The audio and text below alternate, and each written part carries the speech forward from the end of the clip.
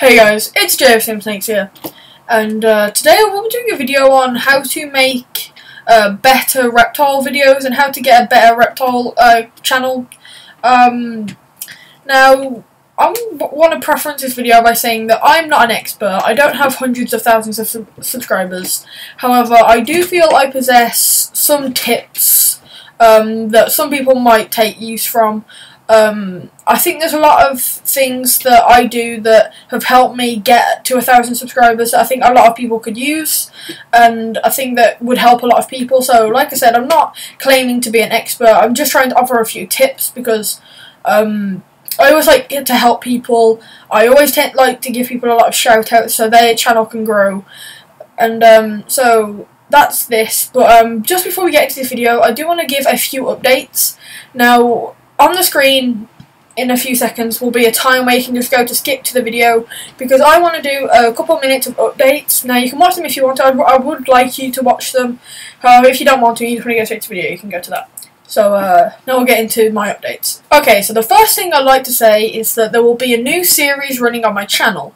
Um, I will be doing a series called Snake Debate, uh, either on a Tuesday or a Thursday.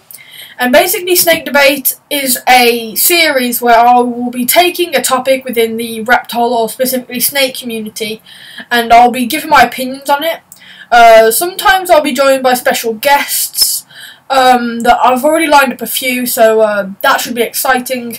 Um, basically, I'll just be talking about a few things. Um, and I'm really excited for this thing because I did. I know I did it in the 1,000 subscriber special, and I got a lot of positive feedback on it.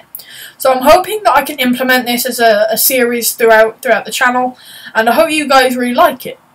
Um, now I'm struggling for ideas. I've got about four or five at the moment, um, which will obviously last me you know, about four or five weeks. This will be starting next Tuesday, hopefully. And when I say next Tuesday, um, I mean what what date will it be?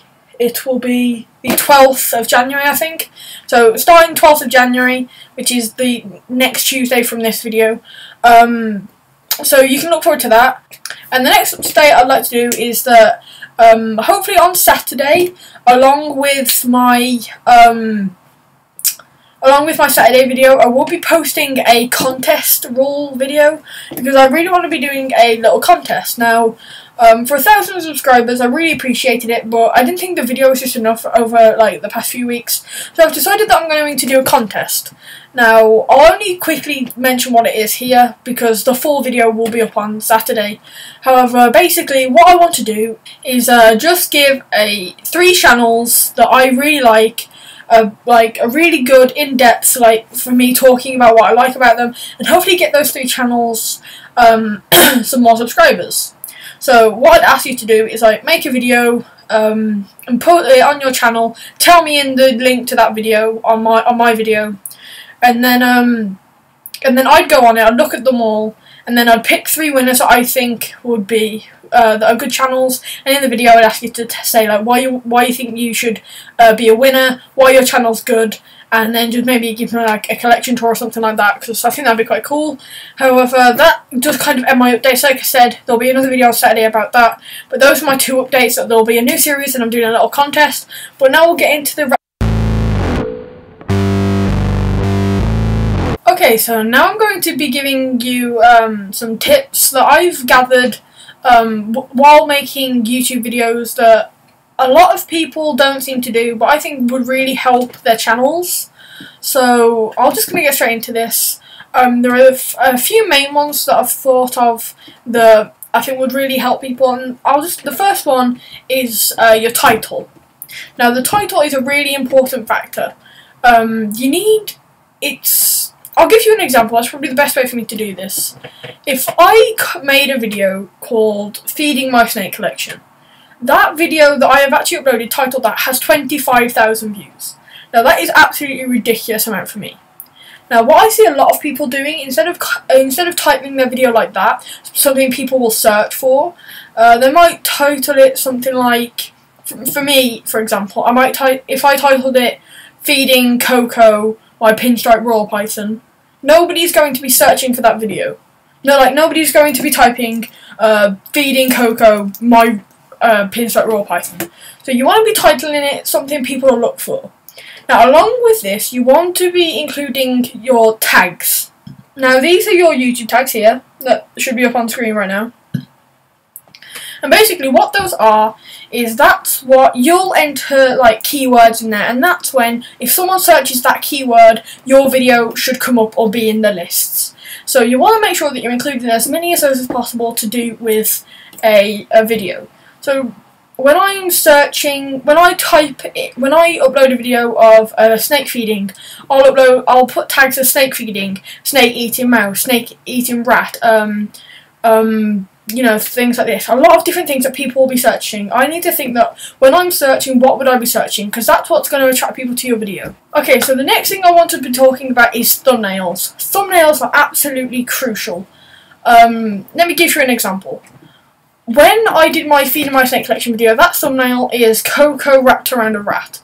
Now that photo isn't from one of the three suggested. I specifically took that photo because after I uh, fed her, I saw that that was a really good opportunity for me to get a good photo of her, and I knew that that would be a good thumbnail because that little window, the thumbnail, is people can see a snippet into your video. So if they see that as good quality and uh, you know very clear, then they're gonna want to click on it. Um, if your thumbnail, however, is just like really pixelated, is dark, enclosure, I wouldn't want to click on a video like that because I know it's not going to be very good quality. Even if it is, that one little snapshot of the video could make it look really bad, and that's not going to want people to click on it. Along with this, there is something called clickbait thumbnails. Now, I have used these in the past. Um, would I advise them? No, but yes. I mean clickbait thumbnails, if you don't know what they are, that's basically when I uploaded a few of my early collection tour videos, I would set the thumbnail as a picture of racks or some really cool vivariums because people see that and they think that it be looks like a really cool video, which is kind of wrong with me. And for that, I did get a few dislikes. However, luckily for me, I got a lot more out of it than I got. Like, there were a lot more positives than there were negatives. So I got a lot more subscribers from that video than I got dislikes. Like I might have got eight dislikes, which is a lot for me because I only got like 15 likes.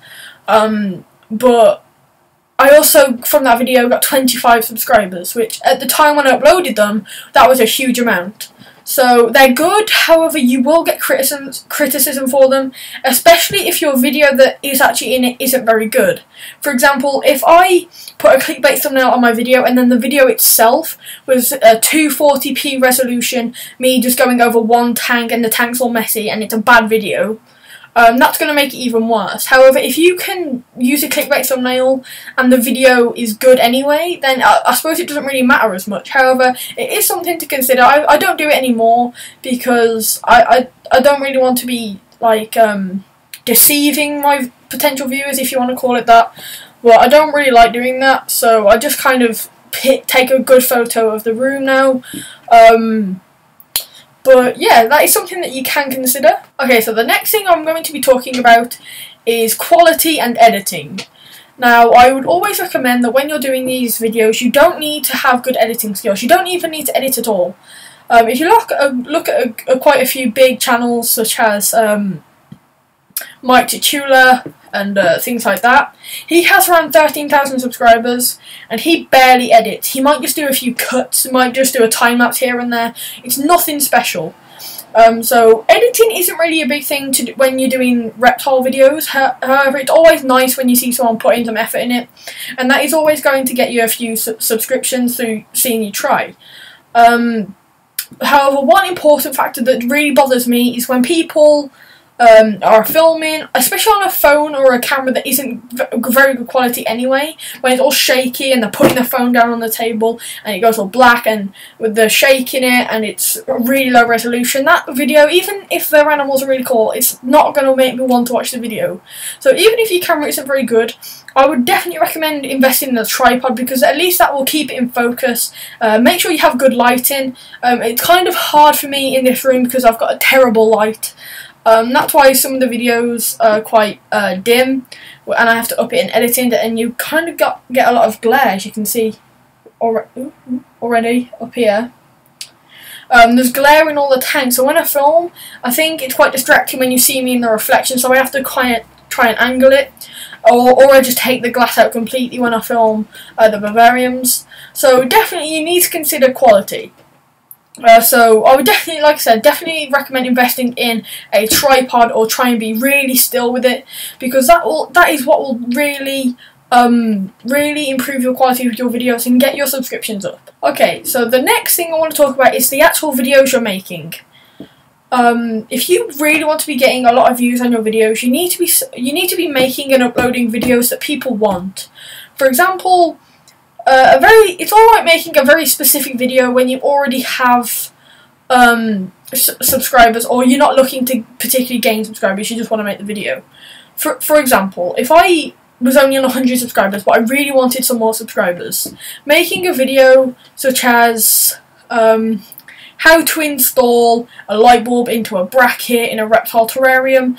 Um, it's it's a good video. It might be a helpful video for people who search it. However, it's not going to be widely available to, uh, to people looking for a channel. For example, if I was just going out looking for an, a new reptile um, channel to watch, I wouldn't search how to install a reptile bracket into a terrarium because that's very specific. You'd upload videos like reptile updates, uh, reptile feedings, reptile unboxings. Those are the three videos that get the most amount of views and will get views to your channel very quickly. Uh, combining that with the thumbnails and good titles is really going to attract people to your channel. Um, so you definitely want to make sure that you're making videos that people are going to watch. There's no point making all these videos like um, like videos that are very obscure and then uploading 20 obscure videos that might be good videos but people aren't searching and wondering why people aren't subscribing. It's because not many people are finding the videos. Um, obviously you can do that if you're not too bothered about subscribers but uh, I think a lot of people are and so you should definitely be trying to make your videos uh, purposeful for your target audience. Okay, so another thing I've seen a lot of people do in their videos is they tend to procrastinate from the topic subject. Now, if you don't know what procrastinate means, it means doing something away from what you're supposed to be doing, or going off topic or going off subject. Now, there is one person in particular that does this. Um, I've only started watching him recently. I'm not going to name him. Um, but he tends to talk about a subject and then he'll completely go off for a few minutes and then he'll come back to the subject. Um, now his reptile videos are fine, I actually quite enjoy them, however sometimes when he does this, it's not always what I'm watching the video for, and so I tend to lose interest when he does that bits, and I have to kind of skim through the videos, because if I'm being completely honest, that's not what I'm, I'm watching the video for, I'm watching it for the title. So you should really try and I know I do it sometimes when I talk about an update or something, but that I try and limit that to 10 or 15 seconds. But when it goes on for a few minutes on an, an, on a different subject, that's when it really starts to get boring, and that's when people start clicking off your videos and not subscribing. So you really want to keep your videos to the point um, of what you're trying to say. Okay, so the last thing I want to talk about in this uh, tips for a reptile channel uh, video is um, putting your personality traits and stuff like that, and your reptile things, you'll see in a minute, um, to one side in order to make the video better. What I mean by this is, um, there's a channel on YouTube that I'm not going to name because I don't know if he'd want me to name him for this, um, that I really like, and he has a very, very strong Liverpudlian accent. If you're American, um, I don't really know how to explain the accent to you, but to people that don't live in Liverpool, it can be very um, confusing um, and it, it's hard to understand sometimes. Now, what he has to do, because he knows this, he has to really talk slowly and really try and pronounce his words, which makes it a lot easier for people like me to understand it and watch his videos. However, if he talked normally and with his Liverpudlian accent, I would find it very difficult to watch his videos, and I probably wouldn't watch them as much as I do. Um, so you really need to consider things like that in your video. Like if you talk really, really quickly, and um, people sometimes you struggle with people not understanding you. In your videos, you should really try and talk slower so people really can.